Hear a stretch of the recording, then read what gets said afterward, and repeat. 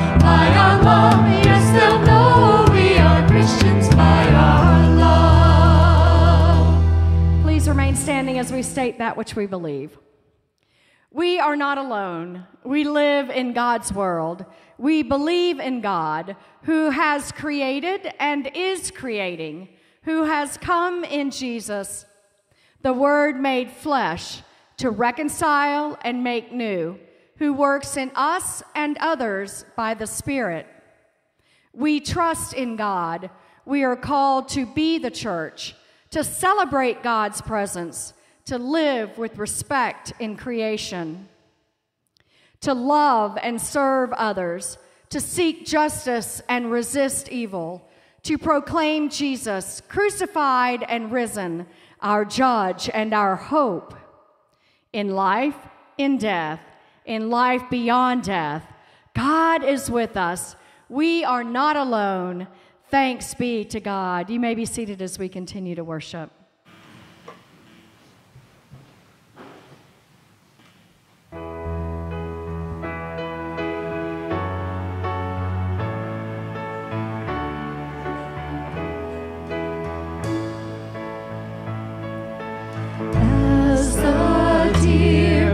for the water, so my soul.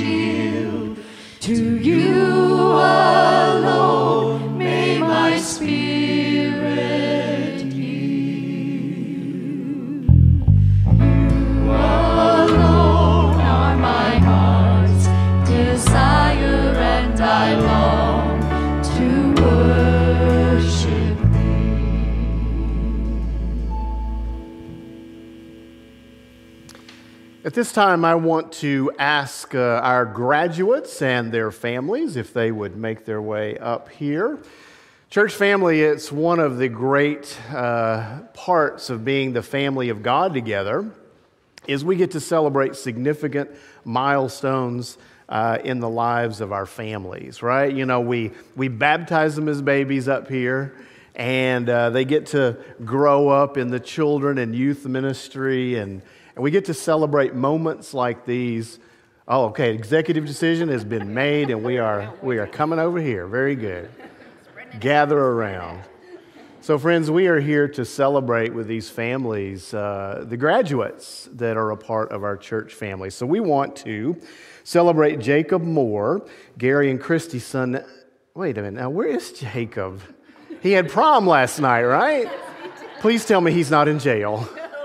Okay, okay, good, church family. I, I thought we might have to break out a prayer. Right? He's in his pajamas, asleep, as far as we know. Okay, very good. So, Jacob is graduating from Notre Dame and he plans to go to UTC in the fall. So, we celebrate that. And then we have the Moran family over here. We're celebrating Jack, who is Mike and Lee's son. Jack is graduating from McCallie has plans to go to American University, that's up in DC, right? And major in pre law. So that's going to be awesome. We celebrate you, Jack. Thank you for playing with us in our band for a while, and, and we celebrate that. And then Mary Ellen, right over here with Ron and Jeannie. So good to have Mary Ellen with us, and she's shared her musical talents with us many times. She is graduating from the Center of Creative Arts, plans to go to UTC in the fall to pursue a Bachelor of Science in nursing. That's awesome. And then Kevin and Lisa, we're celebrating your granddaughter, right? Brianna Comstock, she has uh, graduated from Morehead State, that's in Kentucky. She has a major in sociology and criminal justice, plans to go into social work and change the world, you said. Yes. Amen. That's so important. That's so important. I want to share with you guys just a little gift that we have uh, for you if, that, if you will take that to her. Jack, we have that here. This, friends, is just a little spiritual journal, and it has on the front Hebrews 6:19, which says, "We have this hope as an anchor for the soul." And so, I want you to have that, and just remember, guys, as you make your transition and, and journey in life, uh, the faith, the, the relationship that you have with Jesus is going to be an anchor for your soul. And you're going to feel the tide pull you in, you're going to feel the tide pull you out. But it's your faith and your relationship in Jesus that's going to be an anchor for your soul. And as you look out and you see all these smiling faces, grads, and families, this is what it means to be a part of the family of God. We're here to love each other, to support each other, and to celebrate life's moments together. Would you join me now in a spirit of prayers? We pray for our grads and their families. God of truth, the source of all wisdom and knowledge. It's by your wisdom that we are taught the way. We are led to life and truth in Jesus. I pray now that you would bless these graduates as they finish their course of study and begin a new chapter in their life. We thank you for those who've taught them, who've walked beside them, for those who supported them along the way. We pray, O oh God, that you'll walk with these graduates as they leave, as they enter a new chapter, as they move forward in life. We pray, Lord, you'd remove any anxiety or confusion around their purpose, but instead, God, give them a vision that burns within their heart, clarity of vision and guidance, that they may live the purposes you have for them. Strengthen them as your Holy Spirit has given them talents and skills. May they be used to bless others and for your kingdom. Instill within them a confidence in the future plan that you have for them, where the energies they have may be gathered up and used for the good of all people and for the sake of your kingdom. God, we pray your blessings on these families as they have both excitement and anticipation about what the next chapter will be. And inevitably, Lord, there's some, there's some grief and sorrow that this chapter, this phase of life is now over.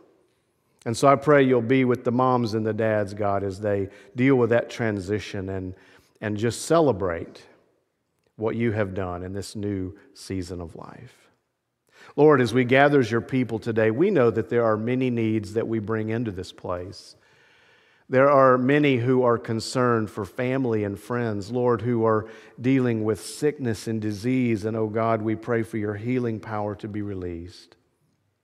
There are those that are concerned about family and friends who maybe are in the bondage of addiction or in financial trouble or in any other kind of hardship and distress. And God, we pray for your provision in those situations. There are situations in our country and in our world that, that bring grief and heaviness to our hearts. God, in so many ways, we need you. I pray that we could rise up and be strong as the people of God, filled with your Spirit, to help be an answer to some of these prayers, to be a friend, to be a source of encouragement, to be a support, to make a difference in this world. We realize, God, as we come together in this place, we come for many reasons. We come to celebrate. We come to pour out our hearts to you, O God, when we don't understand. We come to receive grace and strength. We know that you are an ever present help in our time of need. But as we come into this place, God, we know that part of what you're doing is energizing us and strengthening us so that when we leave this place, we take Jesus and the Spirit of God with us to be difference makers in this world. So we receive everything we need from you today, O God, to be the people of God. We would unite our hearts and our minds together as the people of God pray, as Jesus taught his disciples, saying, Our Father, who art in heaven, hallowed be thy name. Thy kingdom come, will be done on earth as it is in heaven. Give us this day our daily bread. Forgive us our trespasses, as we forgive those who trespass against us. And lead us not into temptation. Deliver us from evil. For thine is the kingdom, and the power, and the glory forever. Amen. Families, we celebrate you. Let's give them our appreciation. Amen. Amen. And, it, and unless y'all want to preach the sermon, you can be seated. All right. Well, friends, we welcome you to this time of worship today. It's so great to be able to celebrate these milestones in the lives of our church and our church families.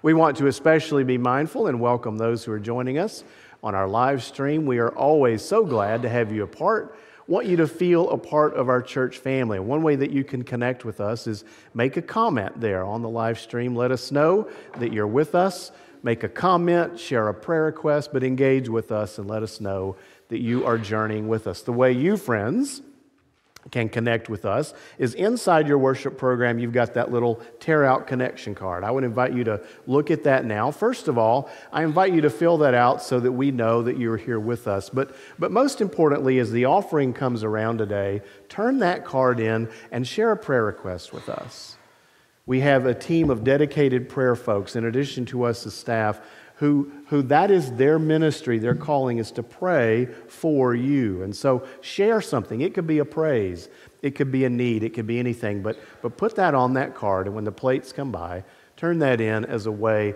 to let us know how we can be journeying with you. Also, friends, I know that you know this, but as you give, you're investing into the work of God here at St. Mark's Church. And that is so vital. I hope you appreciate the fact that we don't just beat you over the head with that. We don't spend a lot of time talking about it. That doesn't mean it's not important. It's so critical that we all share in the ministry together. We all have different ways that we participate, but giving to God and God's church is one of the ways that we show our love and appreciation to God and we share in the mission together. Amen? Amen. Well, let's continue then in a spirit of worship.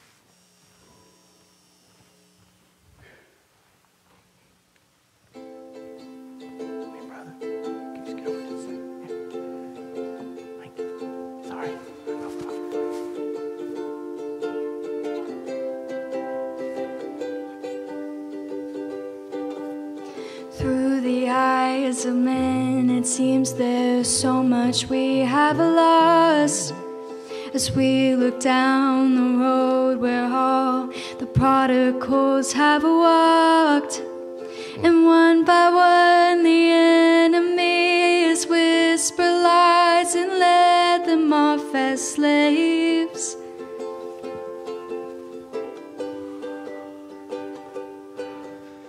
But we know that you are God, yours is the victory. There is more to come that we may not yet see. So, with the faith you've given us, we'll step into the valley unafraid.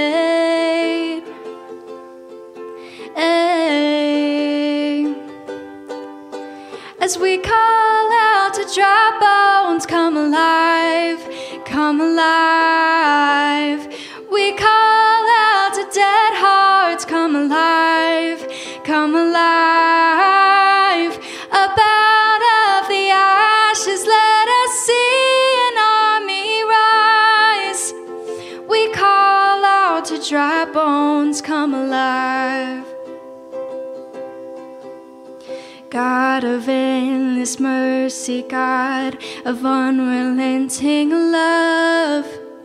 Rescue every daughter, bring us back the wayward son. And by your spirit, breathe upon them, show the world that you alone can save. You alone can save. As we call out to dry bones, come alive, come alive. We call out to dead hearts, come alive, come alive. Up out of the ashes, let us see an army rise. We call out to dry bones, come alive. So breathe, oh breath of God, now breathe, O breath of God. Breathe, O breath of God, now breathe. Breathe, oh breath of God, now breathe, O breath of God. Breathe, oh breath of God, now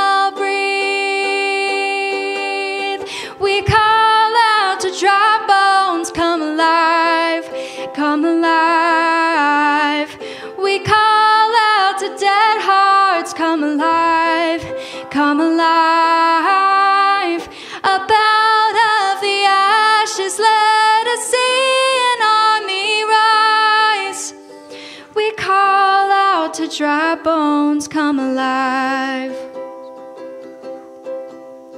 We call out to dry bones, come alive. We call out to dry bones, come alive. Amen. Amen.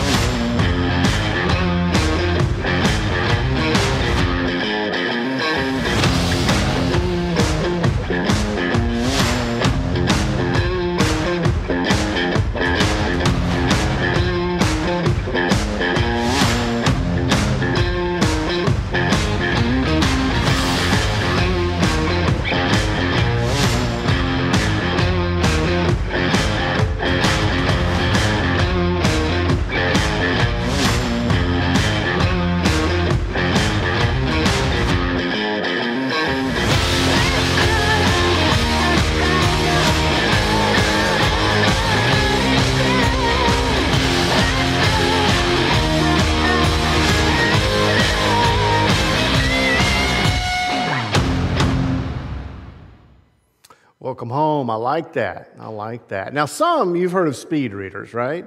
Some of you may be speed sermon listeners. So you want me to go ahead and bottom line it for you? Is that good? Then y'all, y'all can go ahead and get our seats down at FoodWorks. Here's the bottom line.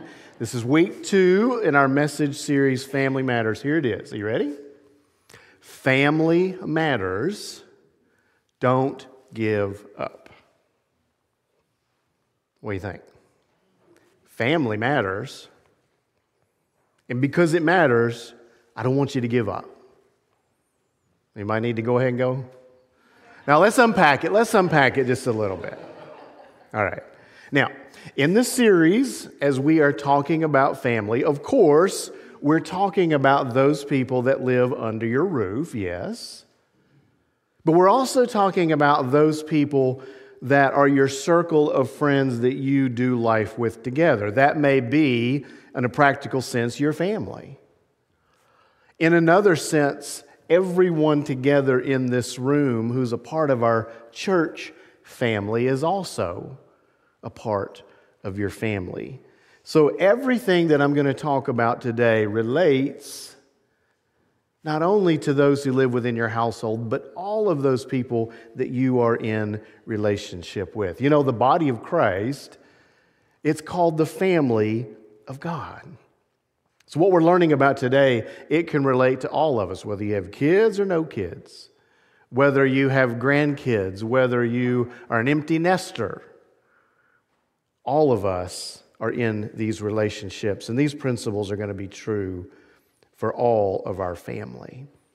I want us to look as our key verse this week. We're going to dive into the scripture that's recorded for us in 1 Peter chapter 3 verses 8 through 12. So follow along with me. And now, this word to all of you.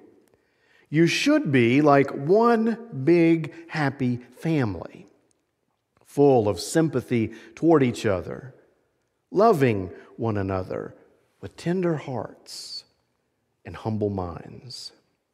So that's the general statement that he's giving us. And now here are some particularizations of how we can do that.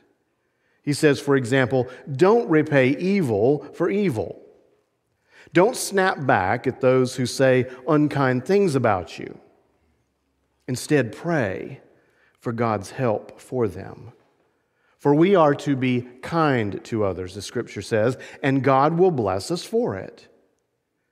He says, if you want a happy, good life, one thing we need to do is keep control of our tongue. Guard your lips from telling lies. Turn away from evil. Do good. And then I love this. He says, try to live in peace, even if you must run after it, to catch it and hold on to it. For the Lord, this isn't a threat, y'all, this is a promise. The Lord is watching his children. The implication is he's watching over us to bless us, to help us to do these things. He listens to our prayers, but the Lord's face is hard against those who do evil. You see, family matters, friends. It really matters. Don't give up. Don't ever give up. Now, if we look at the original context as Peter is writing, we will have to say that he is writing to a group of people that are experiencing some pretty intense persecution. As the Christian faith is developing and expanding, those around them aren't too happy about it. And so the group of people that Peter is writing to, they're experiencing some intense pressure, even persecution. And so his remarks in particular are addressed to that situation. However, I think that you would agree with me that there's a lot that can be relevant to us in our family and friendship relationships as well. Don't repay evil for evil. Don't snap back and respond in anger and be defensive. Pray for those who mistreat you. Show them kindness. Watch what you say. Control, or, or as the scripture says in James, put a bridle on your tongue. It says our tongues are so powerful. It's like a little rudder on a ship that can control the direction of this, this gigantic ship. Show kindness. actively pursue peace and live with others. You see, even though Peter's writing this to Christ followers, because he's concerned, friends, and we need to remember this, he's concerned about how our interactions, how our behavior is a witness to the world around us. Do you ever think about that? I know you want your family to be blessed, and so does God. But part of the reason is so not only that we can enjoy those blessings, but because we are called to be a witness to a watching world. So I think these teachings are very practical for us today.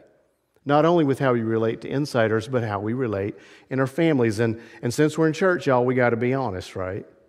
Have you ever found, you don't have to admit this out loud, but have you ever found that sometimes we treat those who are close to us worse than we do those on the outside? We do that sometimes, don't we? You know, we look good on the outside, but when we get behind those closed doors, sometimes we are far from living out those Christian ideals of Christian community that's filled and seasoned with love and grace, right? Let's be honest, family life Relationships can be hard, right? Really hard. Is, is anybody hearing me today? I know, I know this isn't you, but your friend, right? I, we're, we're just doing this for your friend.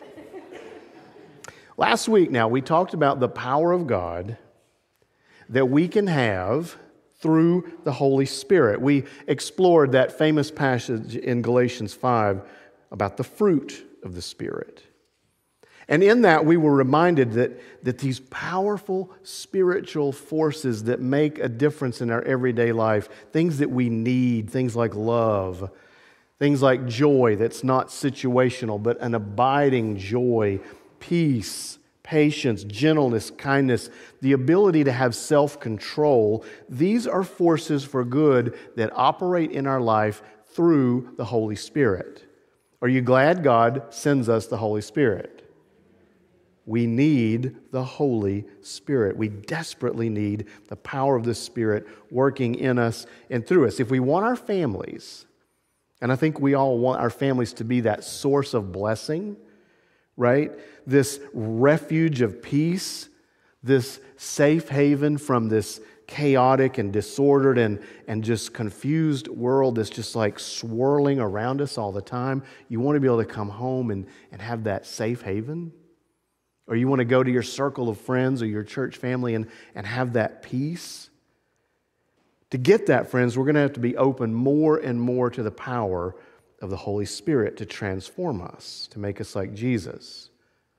Now, what I want us to do today is see the connection between that passage in Galatians about the fruit of the Spirit that we looked at last week and another very famous passage. I'm sure that you've heard this. In fact, you've probably heard this passage so many times that when you hear it now, it just goes in one ear and out the other, right?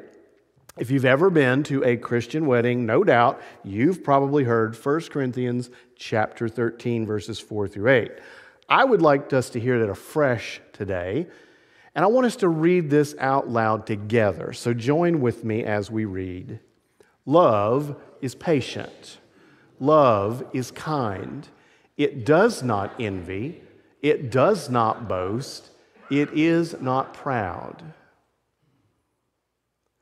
It is not rude. It is not self seeking. It is not easily angered. It keeps no record of wrongs. Love does not delight in evil, but rejoices with the truth. Let's do the next one. It always protects, always trusts, always hopes, always perseveres. Love never fails. Amen? Love sounds like a pretty powerful thing, doesn't it?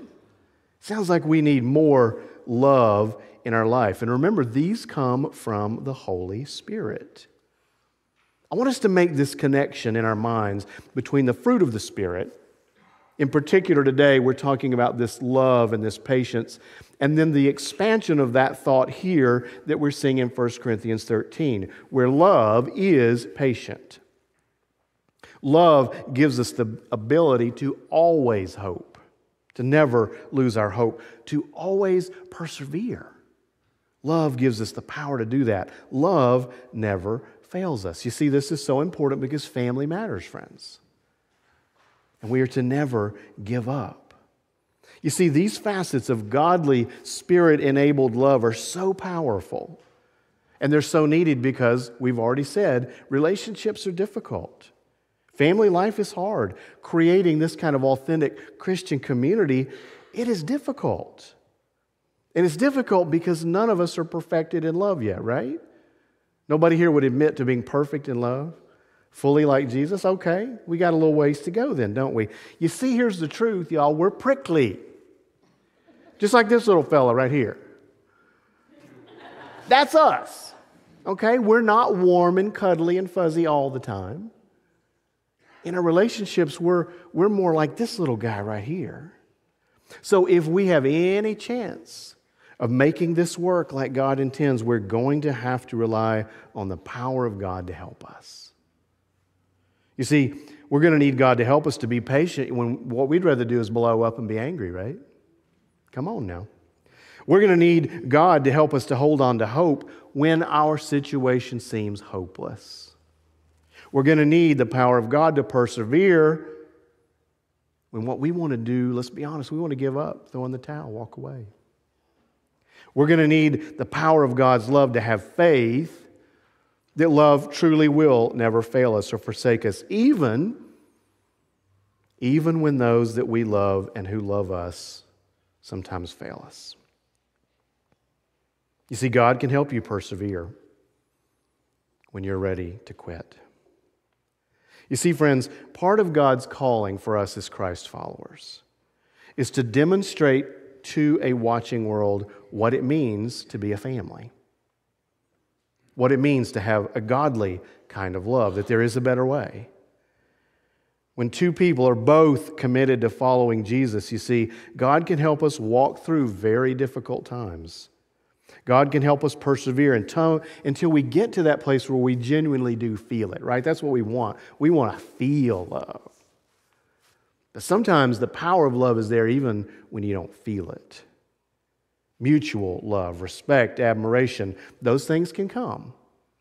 But it takes time, it takes effort. And this isn't just about marriage. Like I said, this can be in a close friendship that has, has drifted apart. This could be among your siblings, your family. It could be in the family of God, friends. It's all of these things that we call family. But the world is watching, and the world needs to see that our faith makes a difference, not just in these walls, right? But in the walls of our home, in our workplace, wherever we are. John Stott, the theologian, has these insightful words to say about this tension that we feel between the ideal of, of where God is calling us to and our current experienced reality. He said, The problem we experience whenever we think about the church concerns the tension between the ideal and the reality.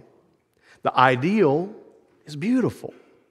The church is the chosen and beloved people of God, his own special treasure, the covenant community to whom he has committed himself forever. The community that's engaged in the worship of God, in love and compassion and outreach to the world. It's a haven of love and peace. It's a pilgrim people headed for their eternal home. That's the ideal.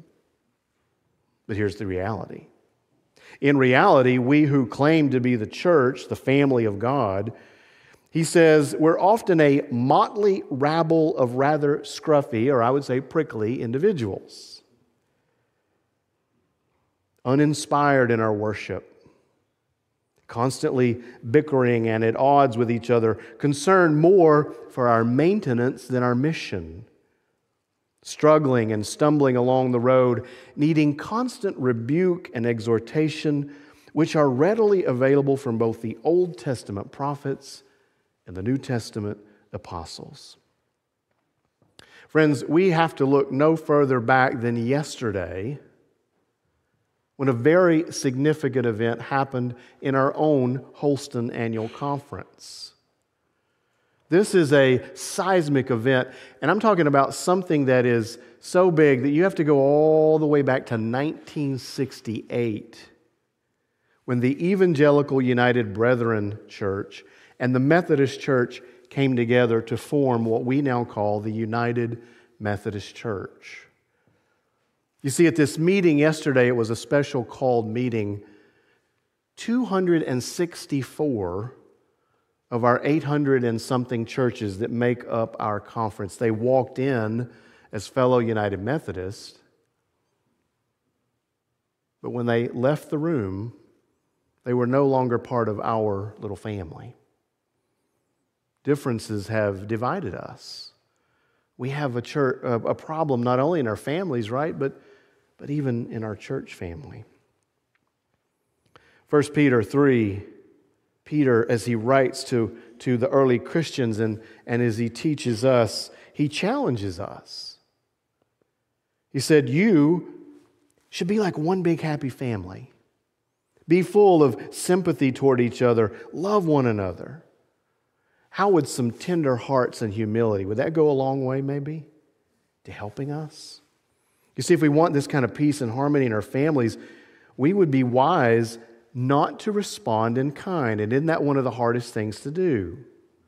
We want to be even. We want to get back. We want to settle the score. But the scripture says, don't repay evil for evil.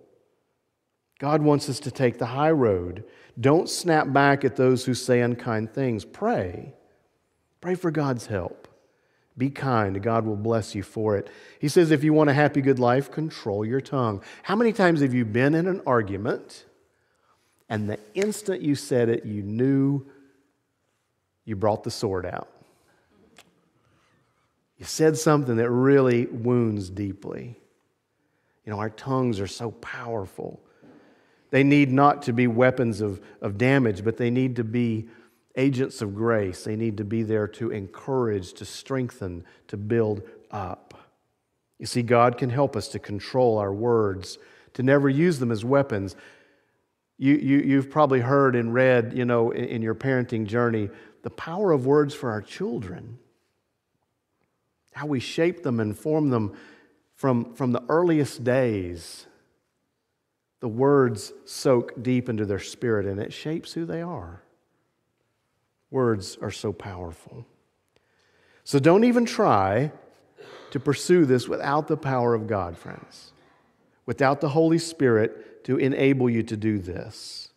You see, family, as I think you know and you've experienced, family can bring out the best in us, can it? But you and I both know it can also bring out the worst. they see us the way we are, not the way we want to be seen. But when we lean on the Lord, friends, when we rely on our faith, when we invite God to be a part of our family life, into our friendships, into our circle of friends, into our church family, we can experience the power of God's love to work in us. And when the power of God's love is working in us, hope then begins to rise. Even when you don't see a way forward yet, hope says that God can show you a way. God can make a way where there seems to be no way. When the power of God's love is working in us, you find the strength that God can give you to persevere when the going gets tough, when the sizzle fades. Or I like to quote that great theologian, B.B. King. He said, When the thrill is gone, Hello? When the shiny wears off? How about persevering when things are tough? God's love allows us to find the ability to be patient. Patient while we allow God to move and work in us and in our family to bring a resolution. You see, when, when the power of God's love is working in us, we don't lose hope. We patiently endure. We wait for God to do God's work. Maybe it's behind the scenes, maybe it's unseen, but God can bring us to a place where we're able to offer grace, forgiveness, to restore the feelings that we want, to restore that respect and admiration, to heal wounds that div- have divided us. Now, friends, I know that even as I'm offering a message of hope and encouragement, and I 100% believe that, I also know the reality is that family, these family matters don't always have a happy ending, do they? I know from my own personal experience. Divorces happen, friendships dissolve,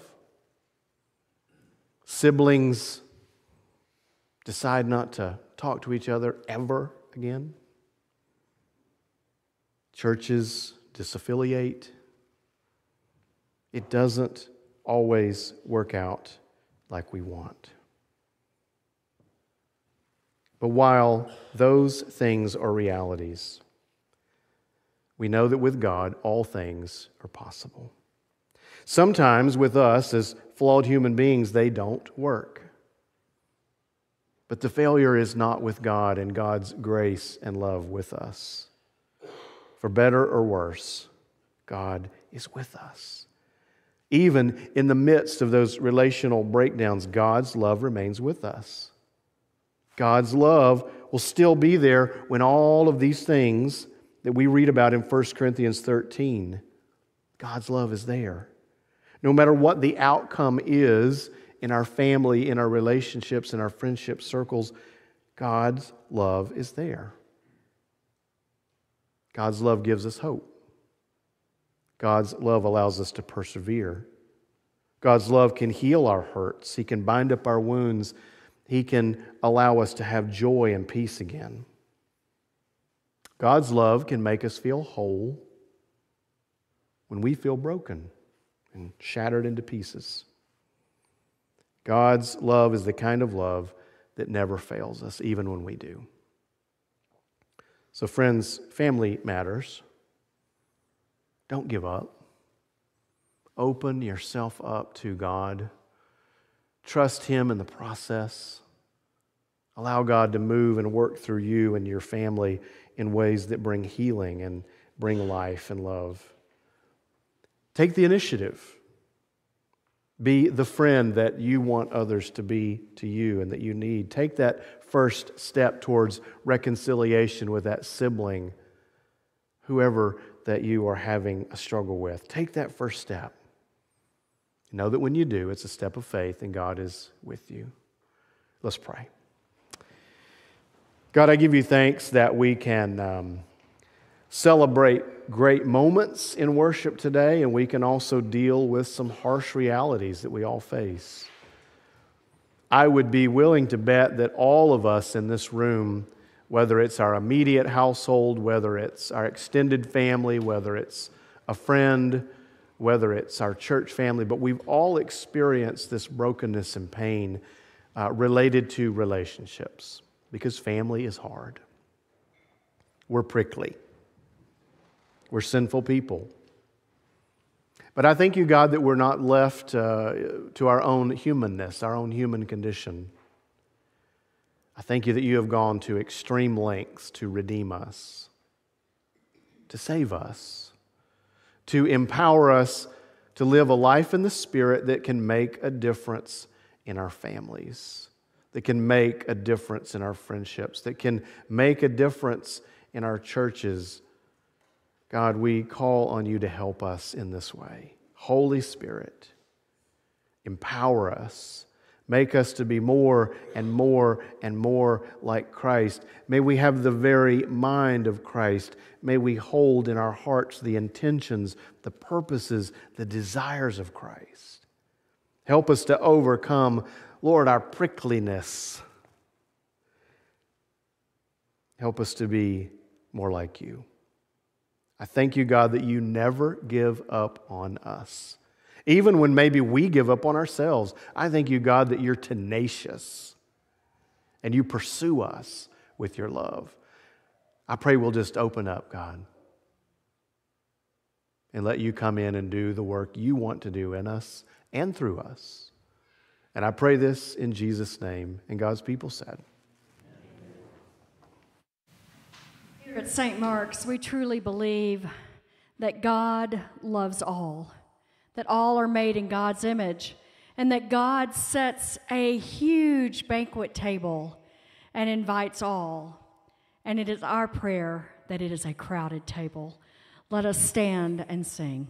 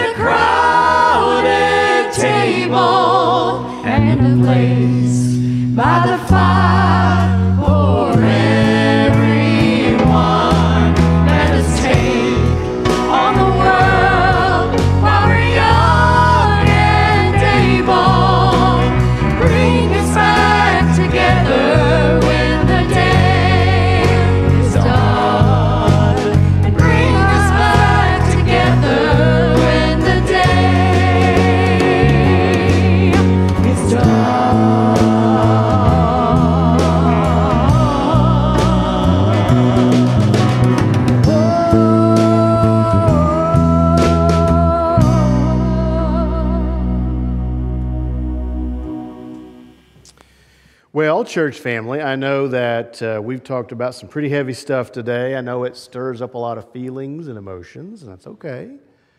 As your pastor, I want to be able to journey with you. So if we need to talk this week, let's talk.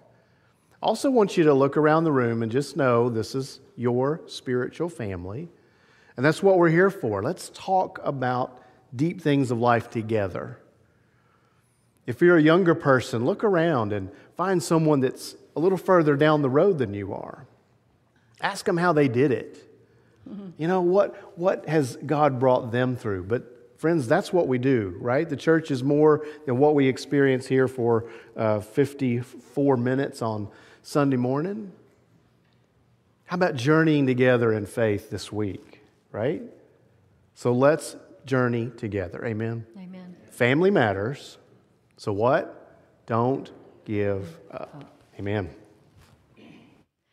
Let us proclaim our benediction together.